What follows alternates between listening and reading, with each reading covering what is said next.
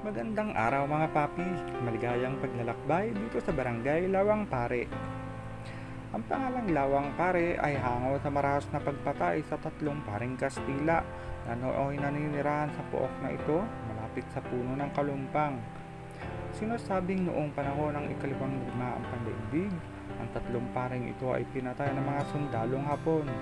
Habang nakasabit sa puno ng kalumpang, sila ay pinagsasaksak hanggang sa ang kanilang mga dugo ay dumaloy sa mga palayan. Nang sumunod na araw, napansin ng mga mamamayan dito ang mistulang lawa ng dugo na dumadaloy sa mga palayan. Mula nooy nakilala ang buok na ito bilang pinaglawaan ng dugo ng mga pare at ng lumaon ay naging lawang pare. Nasabi rin ng nang galing ang lawang pare bilang pabalbal sa anyo ng walang pare dahil hindi na pupuntahan ng mga pare ang lugar na ito upang makapagdaos noon ng banal na misa.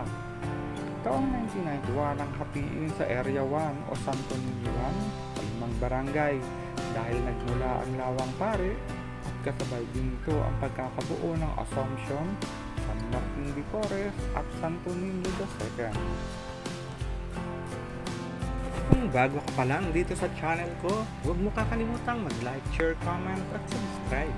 I-hit mo na rin ang notification bell para lagi kang updated sa aking mga video. Maraming salamat mga papi!